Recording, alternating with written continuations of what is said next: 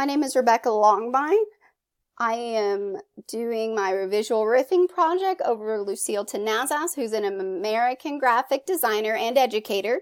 I will give a brief summary of her life and explain why her communication designs have broken the communication boundaries in a way that is structurally sound, yet lyrically tolerant. Born on December 17, 1953 in the Philippines, she was raised in the city of Manila with a population of 1.78 million people. Winning national painting contests as a child, her interest and love for design grew. She describes herself as a cultural nomad. Lucille was raised in a culture where the Tagalog language was reserved for the communication between family and friends, and English was used for education and professionalism. This was where her unique relationship to language was formed. Her approach to merging the two languages seemed out of date, but her desire to conquer and appropriate the English language is what has acted as the platform for her work. It is what will make her typography and graphic design so appealing to generations and where her type and form work together in harmony. She graduated with the bachelor's from the College of the Holy Spirit of Manila with a Bachelor of Fine Arts, and in the mid 1970s, an aunt in Michigan paid her tuition in the U.S. to continue her postgraduate degree. In 1979 in Michigan, during December, she went to Cranbrook Academy of Art and gave Katherine, Katherine McCoy her profile. Tenazas was accepted by McCoy as a mid-year transfer student, receiving an MFA in 2D design. In 1985, she accepted a faculty position at the California College of Arts and Crafts, founded the Design MFA program there, and founded her practice, Tenazas Design, in San Francisco.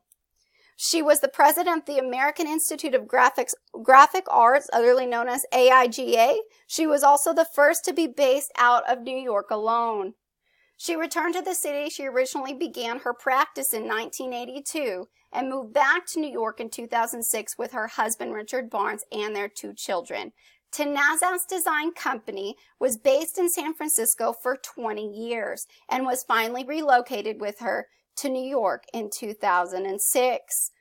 She is with she is the Henry Wolf Professor and Associate Dean of the School of Art, Media and Technology, or AMT, at the Parsons School of Design currently. Regarding Lester's nine elements of pre-analysis of applying at least three of his perspectives relative to the following works over the next several slides, we will break down the small details that comprise such strong works of communication design and what made Lucille Tenazas both an interactive educator and inspiring graphic designer. We'll be breaking down this thought piece into three components by visual cues.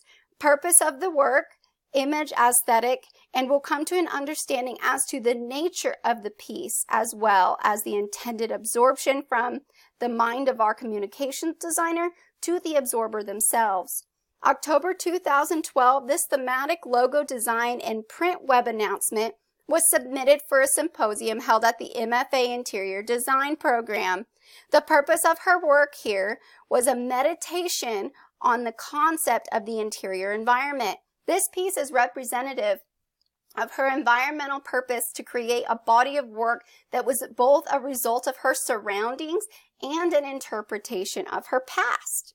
She achieves image aesthetics from her lifelong interaction with language itself. She created this design to express type and images in a re-evaluation on the importance of simplicity in modernist graphic design. Her visual cues with natural lighting and stark contrasting in the environment itself created the structural lines for eye movement, but her use of light and natural coloring, we not only can identify the components of the piece that are in contrast, but the interest in this is created for the entire type, with the image being the soother. Her ability to use only a few colors in her executions exemplify her continuous brilliance in allowing the absorber the ability to take in mass information in an interesting and enlightening way, as well as not being overwhelming. By absorbing both the East and West Coast disciplines in the U.S., and upon interpreting them as she saw fit, the essence of her work itself is unique and very powerful. She explains her communication design as quote unquote base level and that quote people respond to other people's problems. You have to find the ability to move from one context, discipline, culture to another and be seen as one of them so that trust is stimulated. And that allows the designer to speak in their client's voice without having to sacrifice their own, unquote. So for my riff off, I decided to enact that I was part of the Tenazas design team myself in New York. And we're representing a nonprofit group called Love 146. They deal in ending child trafficking issues and aim to create continual awareness of, the, of this issue. On this slide, you'll see their logo as well as a sample from their mass media campaign. This will be my client and they want me to create a new campaign piece for their mass media distribution. As you can see, there are two examples of Lucille Tenazas's designs. And in the middle is my version and my riff off from all of the accumulations of her designs. By understanding the problems and the needs of Love 146, I chose to create this piece for them. Breaking down this piece, we can see the purpose of the work here is to create awareness on the concept of evil within our society evolving innocence itself.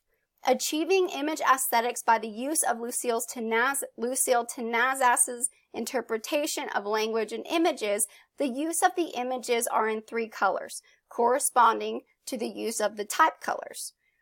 The use of structure with text design creates an illusion of clutter at first glance, but upon reading from the largest font at the top, the lines from the image draw your eye downward into the details of communication.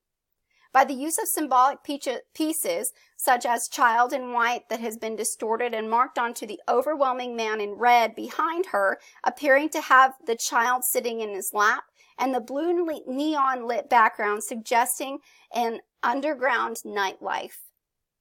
Our points of influence to the absorber are met, as well as the necessity of the re reception of the message from Love 146. In the type, you see the word open, and from the E downward, you read the word evolve, with the last two letters V and E slightly to the right. This is important in that if the message from the I is read, the L is read bottom to top, you can read the word love, thus reiterating the facts that the message as well as the first part of the company's logo to incorporate top of mind is there. When you have a, constru- a structured format of end child trafficking, as you see on your left, the typeface interchanges between the first letter and the rest of the word in that it is supposed to be interpreted as the style that you would see in a, in a child's fairy tale book. The numbers represented in the rest of the company's logo are set one on front of the child and two in front of the red silhouetted man. For the person passing by at a quick glance, it creates intrigue into the colors of man and the marked out child along with the numbers to inherently look like ages. Such an age difference and such a negative color combination creates the interest in the piece to stop and observe the executional meaning. In conclusion, Lucille Tenazas is an educator, creator, writer, and inspiration to all communications design entrepreneurs. She has made a mark on humanity dialectically different from anything we have seen in a very long time. I was personally inspired by researching and understanding how she uses communication design.